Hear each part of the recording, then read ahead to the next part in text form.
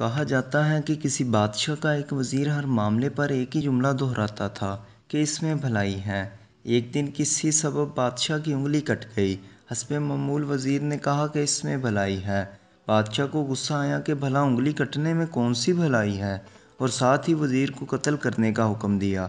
قید ہونے کے باوجود وزیر نے پھر سے وہی جملہ دہرایا کہ اس میں بھلائی ہے۔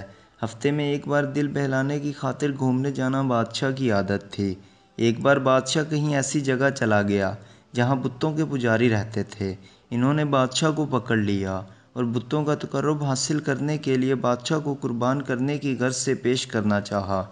ذبح کرتے وقت دیکھا کہ بادشاہ کی انگلی کٹی ہوئی ہے۔ سب نے بتوں کے لیے ناقص قربانی پیش کرنا مناسب نہیں سمجھا اور بادشاہ کو چھوڑ دیا۔ واپس لوٹنے کے بعد بادشاہ فوراً وزیر کے پاس آیا اور اسے آزاد کیا، سارا واقعہ سنایا اور اس سے پوچھا، ان لوگوں سے نجات پانے میں میری کٹی ہوئی انگلی بھلائی ثابت ہوئی، مگر قید و بند کی صحبتیں جھیل کر تمہیں کیا بھلائی ملی؟ وزیر نے کہا کہ اگر میں آپ کے ساتھ چلا جاتا تو وہ مجھے ذبح کر دیتے، حقیقتاً ہر چیز میں بھلائی ہے۔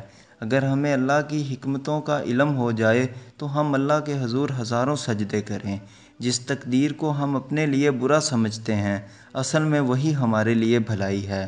آپ صلی اللہ علیہ وآلہ وسلم کا فرمان ہے۔ مومن وہ ہے، جب اسے خوشی ملتی ہے، وہ اللہ کا شکر ادا کرتا ہے۔